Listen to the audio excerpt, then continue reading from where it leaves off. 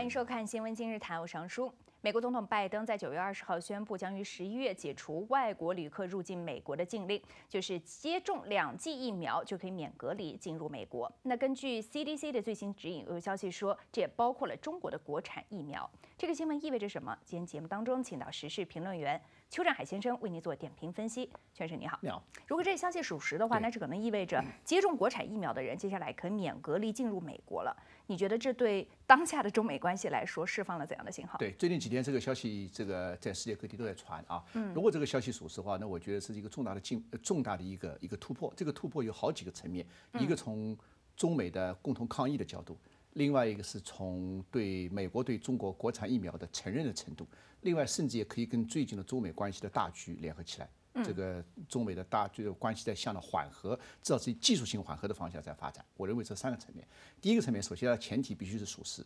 那个 CDC 啊，这个美国总统宣布十一月份开始对某些这个禁止入境美国的一些国家进行开放，这是属实的。但 CDC 现在宣布中国的两个国产疫苗在其中，这个呢，当然我们还没报道，但是在海外媒体已经有非常多了。但现在可以得到证实的是什么呢？就是之前中国对美国的入境呢，已经是有所开放了。比如说它。啊，美国无非的几种嘛，一一种是江森江森，一个种是辉瑞啊，还有一个是莫德纳，这三种啊。那么现在呢，就是如果说是在中国或者包括咱们中国的港澳地区或者中国内地去美国的呢，那个三种呢，美国是承认的。但是关键是两两种国产疫苗，国产疫苗就是一个是国药，一个是科兴。那么据现在的这个海外媒体在传呢，说这 CDC 呢也已经承认了，就是如果从十一月份开始，就是打了这两种。中国的国产疫苗的这个来自中国内地的、中国港澳地区的游客啊，或者或者这个这个旅客可以直接飞到美国，不用隔离。那么之前是到目前为止是怎么做的呢？就你必须要在第三国隔离，新加坡、墨西哥，好像还有迪拜这些国家 要在第三国隔离。可能那些国家到美国是免隔离的，他们之间有这个协议的。那么从从十一月份开始呢，就除了呃接种了江森江森啊、辉瑞啊和莫德纳以外，注射了两剂国药。和这个科兴的中国旅客也可以不用在第三国隔离，直接进入美国。但是当然你要提供四十八小时或者七十二小时的这个核酸检测，要留下你的电话，留下你的电邮，以至于啊，你能够啊及时保持联系等等，然后你就可以免隔离进入到美国。那么如果这样呢，一个它有有有几个意义，一个呢是中美双方我们可以说互相默认对方的疫苗，互相默认对方疫苗就各自为对方的旅客打开一个通道。其实坦率的讲，也是因为现在到明年一月呃二十号吧，这个其实这个新冠疫情爆发已经两年了，而且现在还看不到头。去年的大概十九个月之前，我当时做了一个预测，很多人说我是危言耸听，我说这个疫这个疫情至少要两年时间。啊，很多人说啊，你怎么知道两年？因为那个时候我们很多人对对比的是二零零三年的这个沸点，沸点就三到四个月时间就过去了。当时我们研究了是反正是历史上的这个大疫情，就大大流行。pandemic 的它的外部特征基本上都要至少两年。那么现在看起来，我们去年预测的还是最保守的。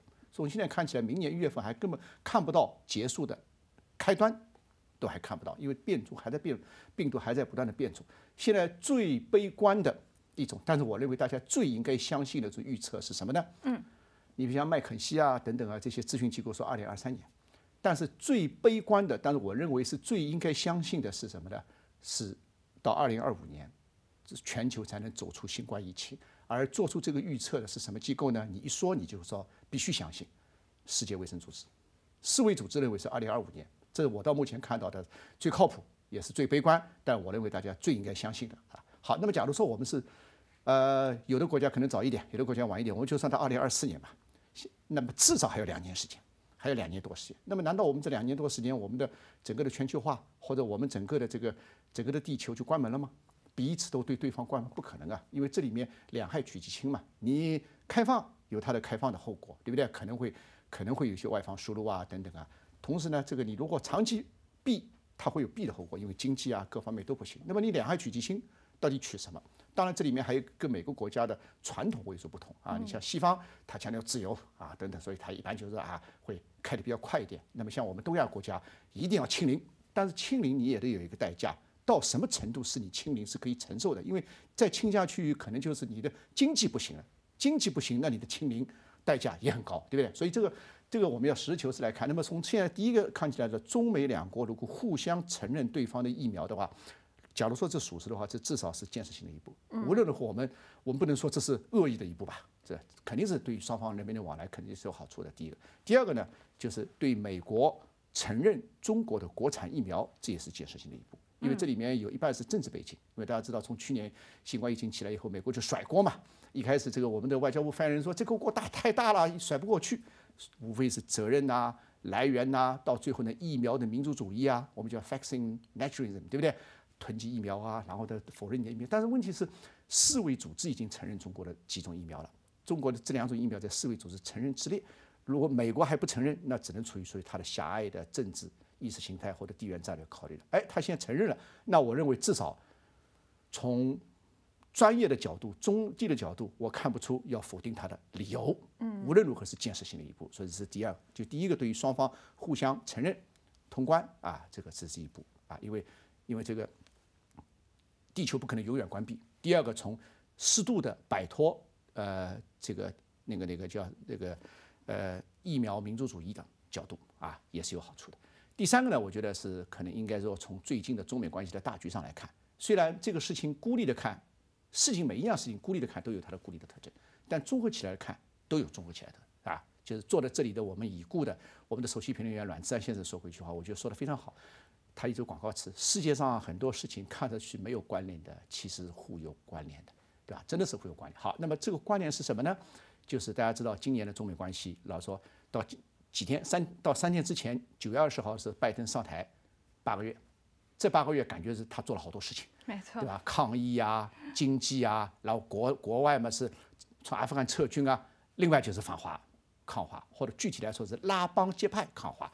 从这七国领袖峰会啊，到拉北约啦，到拉什么的啦，一直到这个呃，今天二十三号吧，明天就美东时间明天，我们要后天四国峰会的领导人已经被他请到白宫去了，什么什么菅义伟啊、莫里森啊，还有那个就是印度的莫迪啊等等。背后的议程肯定是针对中国的，还有嘛？最近大家闹得沸沸扬扬的法国和澳大利亚的这个潜艇风波，这背后的议程也是针对中国的嘛？所以好，那你看这个，如果说这个拜登一面是在做这个事情，但另一面呢，大家有没有发现，从今年下半年开始，具体来说，就从今年八月底九月初开始，中美关系在悄悄的有一些趋缓的迹象。当然，这个趋缓我们不要给它夸大，但也不要缩小，更不要忽略。所谓不要夸大，并不是说中美关系未来就是一一路向好了，不可能的。它就像股票一样的，在下行过程当中一个技术性的调整，但这种技术性回暖也是很需要的，让大家喘一喘气，让大家这个思考一下。因为中美以后的博弈是几十年的，你总不能一路向下吧？股票也不可能一路向下跌，总要回暖一下。所以最近是一个技术性的回暖，它有几个特征。第一个就是七月底，这个维尼舍曼就是他的常任副国务卿来了中国。回去以后应该没什么结果。当时我就说八月份，我说不可能有什么大的结果。我当时预测，我说九月份可能会有，啊，这是我当时一种感觉嘛。当然也有一些逻辑的支持。原因就是八月底，呃，十月底在罗马要开 G20 二十国领袖峰会。那么那个时候理论上说，那么长时间了，这个两国元首总总要见见吧，无论是线上还是线下。线下的可能性不大，对吧？因为要到意大利去一趟不容易。但是线上总应该。既然同框同频了，为什么不搞一个线上的峰会？但是举不举行，它是一个象征，象征象征意义很大。因为在一个美国总统上任之后，如果说今年十月底再不举行线上或者线下峰会的话，那意味着什么呢？意味着一九九三年以后，中美元首在美国总统上台之后，没有那么长时间没有举行过见面。我算过的，一九九三年当时克林顿是一月份上任的。当时是好像在 EPIC 峰会上，当时的中国外交书记江泽民是十一月份才跟他见面。当然那个是是由于八十年代末那场春秋制造的那场那场政治风波，中美关系还还没有完全完全完全恢复，对吧？从九三年以后，美国总统一月份上任之后，中美关系从来没有过超过十个月不见面，不见面，因为这两个大国就现在越来越重要了，所以这个要不要找台阶下？找台阶下，九月份一定要有些动作，那么就来了。两国元首电话通话，这第一个。第二个呢，最近一段时间，虽然这个美国和澳大利亚的风波跟其实肯定是针对中国的嘛，但是我们中国也没也没什么表态，先静观其变。前几天在联合国大会上，联合国大会啊，就还有克里来过了，John Kerry 来过了，John Kerry 来过，其实他在天津，我们领导人很多领导人都没见他，在北京和他视频峰会。哎，这个我们我们亚洲人做的每一个动作都是有有代表的。既然要跟你视频峰会，为什么要让你到天津来？既然让你到天津来，为什么就不见你？对不对啊？你在华盛顿也可以举行视频峰会了吧？为什么舍曼来我们就见他了呢？对不对？所以就是晾你一下，但是又让你来，所以他一肯定是来谈气候问题，二是来传递信息。John Kerry 啊，现在就像日本的这个叫二阶俊博一样，他是这个中美之间，或者那个二阶俊博是中日之间为数不多，几乎是唯一的为双方的领导高级领导层都能够接纳的元老级的政治人物，是可以充当密使的。二零一二年到二零一六年，当时中日关系非常紧张，现在解密了。二阶俊博几次带着安倍晋三的密信来见中国。现在的日本驻中国的高级外交官当时就在旁边陪着，亲笔信。John Kerry 这次来，他一定是带了很多信号。四月份来，我们把他晾晾在上海，没见他啊。结果哎，过了几天，我们领导人答应答应线上参加这个这个由拜登举行的好像什么什么气候大会，对吧？还是答应他了。这次呢，我们的谢振华跟他当面见了，从外交部长到副总理。到外事办公室的外事委员会的办公室主任都是视频见他，但是信息该传的都传过去了，都传一定传到中南海了，啊，那么一定是除了气候问题之外，他一定是来传递拜登的一些，是不是有密信不知道，但一定有 message，一定有一个很重要的信号，信号就希望缓和。好，回去了，回去了，你看前几天联合国大会，拜登发表讲话了，讲的说的比唱的还好听，咱们也发表讲话了，咱们一个是做出承诺了。啊，呃，对国际秩序啊，呃，我们做出一些那个那个，就是要对话代替对抗，要以包容来替代这个排他。但最主要的，我们做了一些承诺，除了我们以前做的碳中碳啊碳达峰，二零三零年碳中和，二零六零年这以前做出的承诺，这次做出一个非常重要的一个一个承诺，什么呢？就是我们现在开始停止在境外投资煤炭的发电厂。嗯，这个是美国方面要求，美国方面这个。他在他有三四个 C 嘛，三个 C 嘛。我当时做过是说，他对华战略一个是 competition 竞争，一个 confrontation 一个对抗，另外一个是 cooperation 合作。Cooperation 合作里面，他唯一的认为跟中国合作的就是 climate change，所以你可以说四 C。所以他甚至连朝鲜问题他不愿意跟跟中国合作了，就是在气候气候问题要不要合作呢？应该合作，应该合作，因为这是人类命运共同体。但要不要跟你合作，这是一个我开心不开心的问题啊。嗯。要不要跟你来跟我谈的那个人合作？给不给你这个这个 messenger 这个使者这个面子？John Kerry，我们中国显然是给他面子，而他也是跟拜登说得上话的，就像二阶俊博跟这个这个谁啊？菅义伟。不是菅义伟，他的前任安倍。安倍。说得上话是一样，所以这就是外交的后面的 behind the scene 在后面运作的一些东西。我这个我没有内幕啊，我全是从解构出来的，也许我的解构是错的，但是我相信这个我的结构是有道理的。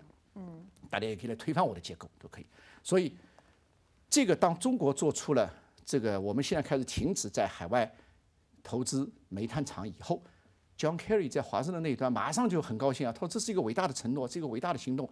今天二十二十二号，昨天二十二号，John Kerry 克里在华盛顿说了，他最近几周还要再访华。当然，中国有没有答应他不知道。如果中国答应他，他就是半年之内三度访华。有这么重要的事情，让老人家七十多岁老人家。冒着疫情，这个十几小时的时差，连续来三次吗？一定有更加重要的事情要谈，所以这就是中美之间，再加上呃十月底要发生两件事情，一个是一个是就是 G 二零 G 二零，对不对？中美见不见啊？这个线上见不见？第二是这个就在呃在苏格兰的格拉斯哥，格拉斯哥啊，格拉斯哥那个地方要举行这个联合国的气候大会，一连要举行十几天。所以中国是显然是给美国筹码，但给美国筹码，我们一是为了人民共同体，为了我们的星球；二我们要换来一些什么东西吧。克里其实他扮演了一个非常重要的使者的角色，所以这次他就要在。好，那么在这么一种情况下，双方总归还要再给一些其他筹码吧。所以互相承认疫苗，如果是属实的话，显然是属于这个大的背景当中的一员。而且这里面跟气候是一样的呀，这个气候是一样的。第一，你肯定是要人民共同体吧。第二，我们要抗击疫情啊，肯定都是有用的。嗯，那么顺便我也想到了，就如果说中美之间互相承认疫苗，在香港和内地之间，我们为什么不能互相承认呢？当然，我们一一定是承认我们是一个国家嘛。但是，其实我是想说的是，内地和香港已经互相清零很长时间，就是如果继续封关，它一定有它的好处。一定有它的好处。但是两害取其轻，它肯定也有它的每一种决定都有它的一些一些坏处。假如说，比如说这边是清零了，但导致我们经济下降了，人员不能往来，以至于导致我们很多好的愿景，比如说前海方案的愿景、横琴方案的愿景、大湾区的愿景，由此又拖慢了几年的话，其实我觉得这是要另外再考虑的问题。不管怎么样。新冠疫情恐怕要持续到二零二三、二零四、二零四年，这是大概率的事情。我们大概要从未来两到三年继续与病毒共存的这么一种思路来安排我们的生活，来安排我们的经济和社会生活，甚至来安排我们的国际生活，都是这样。所以这样在这方面恐怕开关是势在必然。然后同时在中美开关、其他国家开关、疫苗互相承认，包括内地和香港的通关。嗯，好，我们也希望借由疫苗互认这么一小小一步，然后希望中美关系在接下来会有一个突破。好，非常谢谢邱先生带来分析。去一下广告，回来聊一聊法美外交风波，一会儿见。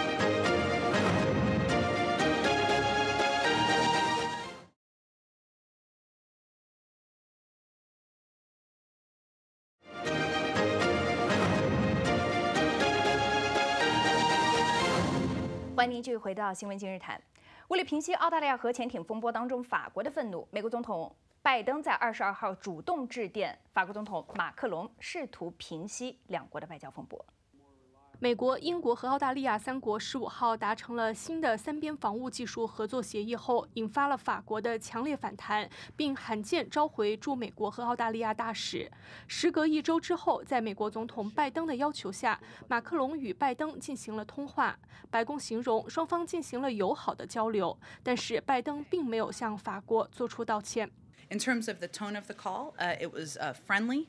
Uh, it was uh, uh, one where uh, we're hopeful, and the president is hopeful. This is a step in returning to normal in a long, important, abiding relationship that the United States has with France. Uh, it was about 30 minutes long. Did President Biden apologize to Emmanuel Macron?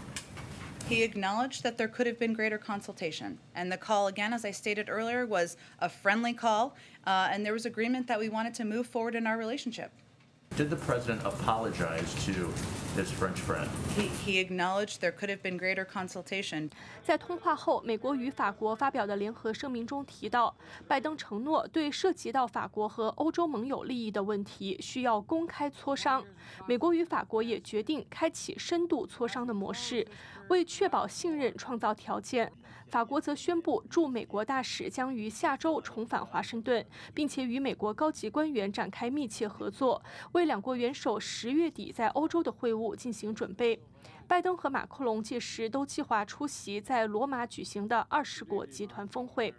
另外，拜登在通话中重申了法国与欧洲参与印太地区战略的重要性。The president reaffirmed uh, the strategic importance of France, uh, French and European engagement, I should say, in the Indo-Pacific region, uh, something that we look forward to continuing to work with them on. 有法国匿名官员向《华盛顿邮报》透露，马克龙希望美方能够通过具体的措施，而不仅仅是言辞，来恢复两国之间的信任。凤凰卫视王冰如、王天意华盛顿报道。好，继续来和邱先生聊一聊，就是这次潜艇风波啊，大家形容是法美之间的信任危机对啊。然后现在你看，主动打电话试图修复，然后十月底要举行峰会，然后大使也回去了。你觉得这些举动就能修复他们之间的信任问题吗？呃，这个是非常好的问题，就是呃，我前几天在这里跟 Coco 我们俩谈，我我认为这个，因为现在我们国内有一些声音就说啊，这是他们内部的分裂，我们可以利用做些工作。哎，我说且慢，先 wait and see，先先看一看他们之间的共性，就法美或者法欧呃呃法美或者美欧之间的共性，坦率来讲，远远大于他和他们分别和我们之间的共性。嗯，啊，你看最近法国啊，还要派个代表团去台湾，这个他在提升欧盟在提升对台关系的问题上是力度是非常之激烈的，所以这个我们要，当然策略上不是没有运作的空间，但是我们要出手就是大战略，我们不是小战略，也不是小谋略，出手就是，所以从这意义上说，这第一个，第二个呢，现在他们 对他们来说峰回路转，对我们来说看戏的多了一道，多了一幕，多了一幕啊，对吧？这个应约啊，这也是对，小马哥应约接了老拜的电话。好，那么现在我们看戏啦，我们反正看热闹不嫌事儿大嘛。第一，老拜怎么向年轻人解释的啊？有没有解释清楚？第二，有没有道歉？那从我们现在新闻我们记者报回来的情况来看，道歉是没有，至少没有说哦，sorry，apologize 没有。但有没有解释？不不知道，嗯，不知道啊，因为谁也没谁也不是他们现场现场在，就是那个拜登呢一定会解释一下，哦，我们当时啊这，但解释不解释已经没有没有意义了，没有意义了。这个事儿呢，其实你刚才用了“信任危机”这两个字，其实就是说白了，就是美国根本没把法国看在眼里，啊，第一语言不同，它不是 Anglo-Saxon 的。美国对他的美英是 Anglo-Saxon 说英语的，你看五眼联盟啊，都是说英语。这语言跟文化是连在一起的，大家同种同族，呃，都是同声同气，背后的文化或者 mentality 气质比较相同，总会好说话一点。你搞一个法国人，搞一个德国人，搞一个日本人这样的韩国人，他总归除非要利用你。那日本呢，跟德国呢，因为两个是战败国，所以他已经紧紧的战后七十多年被美国摁着，摁在那儿了，比较听话。那个韩国呢，因为他的他韩国又高高丽民族嘛，又比较自主独立，所以美国搞大不定。法国呢，美国更搞不定。你美国是战胜国，我法国也是战胜国啊，对不对？我法你美国是现在的超级大国，我好歹十八十九世纪超级大国，而且而且法国人从戴高乐主义开始就一路都是要求民族的自由独立，对不对？而且法国人对语言的纯净，我们德语叫 s p r a c h e i n i g u n g 就是语言的纯净，它特别对？你看德语里面大量的英语的外来词。日日语里面大量的英语的外来词，法语里面语言纯净做得非常好。法国人很刻意的要禁止他的，努力使他的语言当中不含英语外来词，啊，那所有的这些都是再加上好了，戴高现在这个马克龙上台之后，他不但是承接了戴高乐主义，还有过之而无而而无不及，还提出了 European Strategic Autonomy，欧洲战略自主。那我们像早年搞欧洲问题研究的时候，在我很年轻的时候就开始德法联军啊，欧洲无非两大支柱嘛，共同外交、共同防务嘛。共同外交可以，但最后也要通过美国。防务那更要共同美国，对吧？欧洲不是没有防卫力量，欧洲现在是二流的军事军事国家的联呃二流的国家的军事力量联合体，主要靠北约。所以美国好，那你马克龙你上小马你上来什么意思啊？搞 European Strategic Autonomy，你要 autonomy 了，你要独立自主了。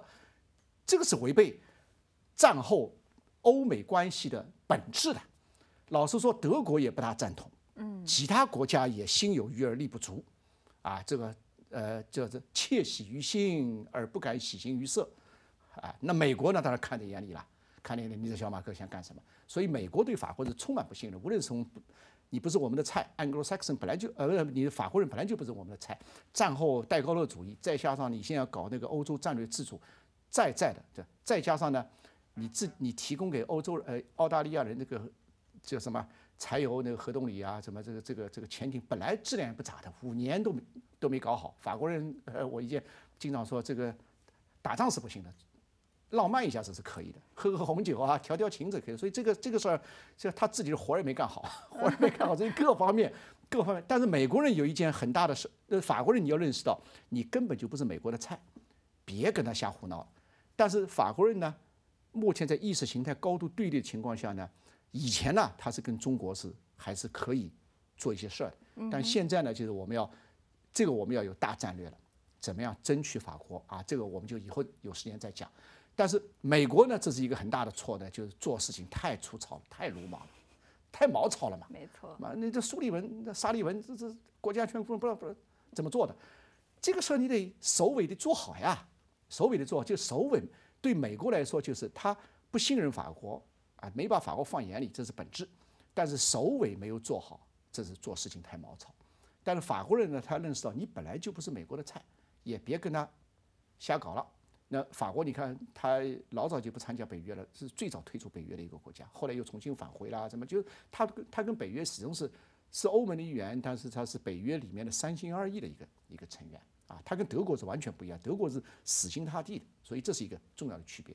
所以现在就要看了。现在我认为这个这次的这个这个拜马通话，拜马通话是技术性的，讲它装个样子。它的本质呢，法美关系不会破裂，不会出现本质性的颠覆性的破裂，不会的。但是也修，就就像以前我们一个领导人说中美关系啊，好也好不到哪儿去，坏坏不到哪儿去，他们就是这样。所以法国人，你再不要想你能够贴到美国的，你热脸。贴贴不着他的那个人屁股，那美国呢也不会把法国再甩到哪儿去，好歹他们是西方阵营的一员，那下面的问题就对我们了，对中国来说，到底是策略性的利用还是战略性的有所作为？这个要看情况的发展。这个我认为这后面是应该有一个大的策略。但这个事儿呢，我估计在这个欧美的历史上产生风波，这是经常有的事儿。这次的事儿大吗？是很大。真的很大吗？也不是很大。过去历史上也曾经有过。这次这个事儿呢，就是美国的拜登团队做事毛草，那边马克龙呢就是脸上无光。就是然后本质呢是法国人不是美国的菜，美国也根本没把法国人放在眼里。尤其是马克龙现在要雄心勃勃做那个欧洲战略自主那个事儿呢，其实引起了美国的忌惮。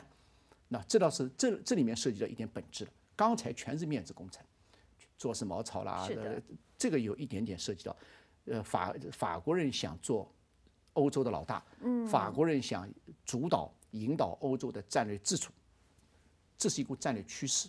那么这个就是要要要大家专家们要去好好的评估了。这个是这这是一盘大棋，这盘大棋如何怎么下，这以后我们也是有时间再说。好，谢谢圈手为我们点出了法美之间的信任的症结所在，他们的心结不解的话是无法达成根本性的信任的哈。好，非常谢谢圈生带来分析，也谢谢您收看《新闻今日谈》，再会。